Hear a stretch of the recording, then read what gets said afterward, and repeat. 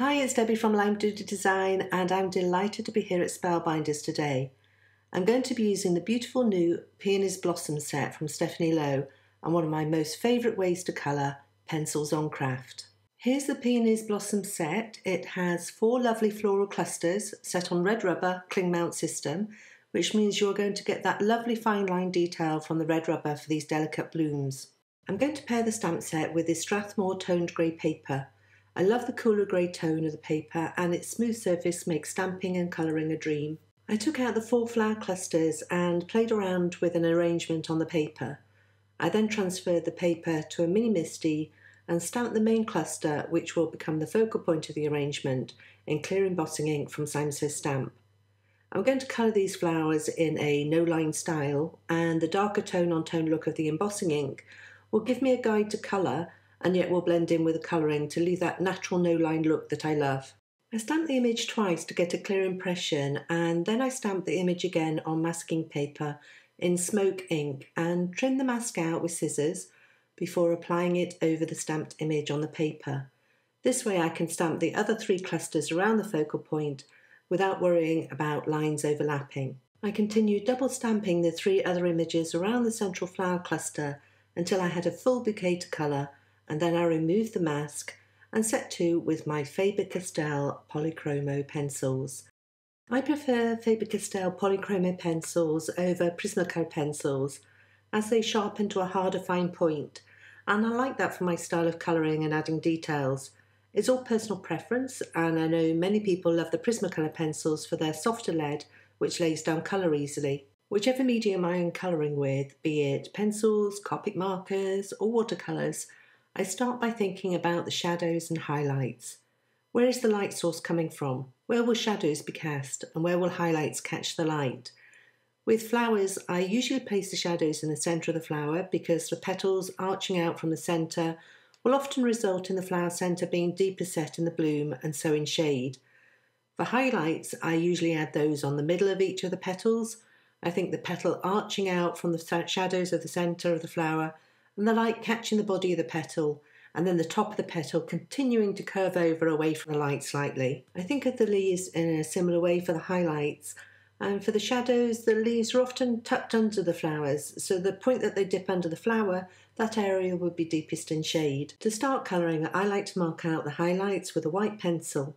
This way I can try and protect those areas when colouring so that I don't lose the highlights totally. When colouring the leaves, I then brought in a mid-tone green to colour around the edges, and for the shadows, I used a darker green as well as black.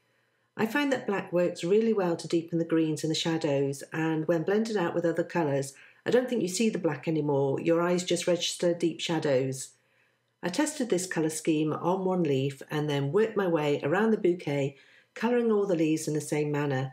As I progressed, I moved from colouring each leaf individually to batch colouring in that I coloured the one colour over various leaves before moving on to the next colour. This helped to speed up the process slightly. Moving on to the flowers, and I planned on colouring them pink. However, once I'd coloured all the leaves, I really liked the green and white together on the toned grey paper. I have a preference of white flowers, and my wedding bouquet was lots of green leaves and a few white flowers. So when I started to colour the flowers, I knew I wanted to keep a lot of white in there, but equally I wanted to create shade and dimension. I started by using the white pencil and pressing that firmly to really make the white pop. Then to bring in the shadows and add interest, I played around with a few options. I used a grey pencil to define the petals and to add some shading, but I didn't want the flower to end up too dull, and so I pulled out more colours of pencils, but just used small amounts of them. So a little yellow for the centre, a bit of light pink around the tips of the petals. I often like to use a lilac for shadows, and so I tried a little of that and then I added some deeper magenta here and there, even some black for the flower centres. I just kept playing until I felt the flowers still read as white, but equally weren't totally flat and lacking dimension. I coloured the three main focal point blooms with more detail, and then for the smaller flowers, I wanted to keep the colouring on those less detailed so that the eye was drawn to those big blooms in the centre of the bouquet. So for the small flowers, I added the white pencil again and then just pops of colour here and there. I finished off the colouring with a black pencil to deepen the shadows here and there, and then moved on to adding some details with a white gel pen. In comparison to the white pencil, the white gel pen really gives pops of opaque white, which stand out and help to brighten the image. I used a white gouache paint and a brush to finish off with a little splatter. I then dried the paint with a heat tool, and once dry, I pulled out the A2 Matting Basics A die set and chose a die which framed the flowers nicely. I ran that through my Spellbinders Platinum 6 die cutting machine and as you can see I use this all the time and my plates could do with replacing. I then got out the A2 Matting Basics B die set and chose the die just slightly larger than the one I'd used for the A set and I cut this from Ivory Card from Says Stamp. I had a Gina K glue runner to the back of the grey paper and matted it onto the ivory card.